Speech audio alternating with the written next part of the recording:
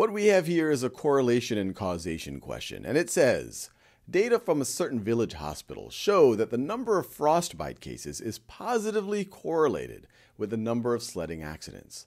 Which of the following factors would best explain why this correlation does not necessarily imply that frostbites are the main cause of sledding accidents? And they give us they give us five choices over here, and they want us to pick which of the following factors would best explain why this correlation does not necessarily imply that frostbites are the main cause of sledding accidents. So, like always, pause this video and see if you can answer it on your own before we do it together.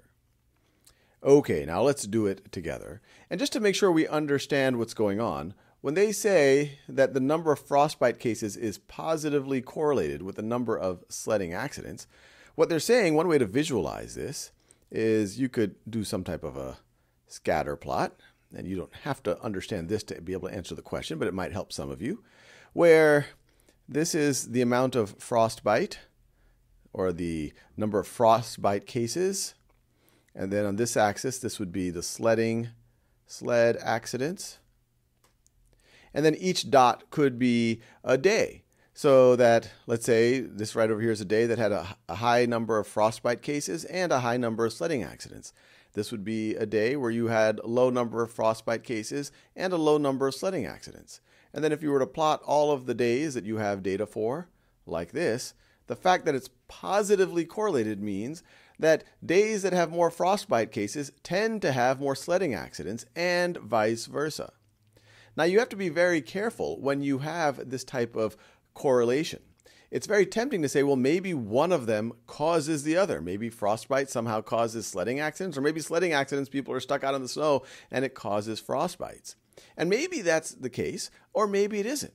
Maybe there's some other thing that drives both of these. And what jumps in my head, even before looking at the choices, are well, you, when things get very cold, so when things are cold, it probably drives frostbite cases and sledding accidents.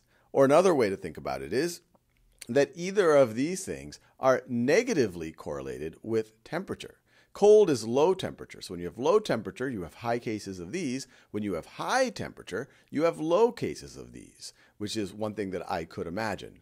So you have a positive correlation between these, but they both might have a negative correlation with temperature. Or another way of thinking about it, they both might be driven, or in some ways even caused, it might be more than correlation, by cold. So let's look at the choices here. People with frostbites tend to have more difficulty controlling sleds. Well, if that were true, that would actually speak to the causality argument that it actually is frostbite that is a major cause of sledding accidents. But we want to explain why this correlation does not necessarily imply that frostbites are the main cause of sledding accidents. So this goes, this is not what we would want to pick. The frostbite cases in sledding accidents were not randomly selected. Well, this just speaks to how the data was collected, but it doesn't speak to the main issue of not necessarily implying that frostbites are the main cause of sledding accidents. The hospital treats more sledding accidents than frostbites. That's just making a comparison between the two, but it still does not explain why there could be other cause of the sledding accidents or other another main cause of the sledding accidents outside of frostbite. So I would rule that out it is likely that both the number of frostbite cases and the number of sledding accidents are negatively correlated with temperature. Well, this is exactly what we were talking about. Saying that it's negatively correlated by temperature, that's the same thing as saying it's positively correlated with cold. The colder it is, the more likely that you are going to have more frostbite cases or more sledding accidents. And I would go even further that it might that might not be a correlation that cold might be the underlying variable, the underlying cause that would drive both of these things. So I like this choice a lot. Choice C, statistical errors were made in the data collection process. Well, that's kind of like choice B right over here. It speaks to the data itself not being good, but that doesn't help us explain why the correlation does not imply that frostbites are the main cause of sledding accidents.